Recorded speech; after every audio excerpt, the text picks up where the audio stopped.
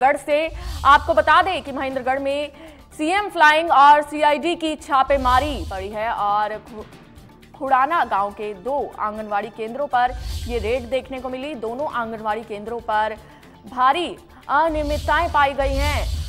तो ये बड़ी खबर आपको महेंद्रगढ़ से बता रहे हैं, जहाँ पर सीएम फ्लाइंग और सीआईडी की रेड पड़ी है तो तस्वीरें भी आप देख सकते हैं, जहाँ पर खुड़ाना गाँव के दो आंगनवाड़ी केंद्रों पर ये रेड पड़ी है, और इसी के साथ आपको बता दें कि दोनों आंगनवाड़ी केंद्रों पर भारी अनियमितताएँ मिली हैं।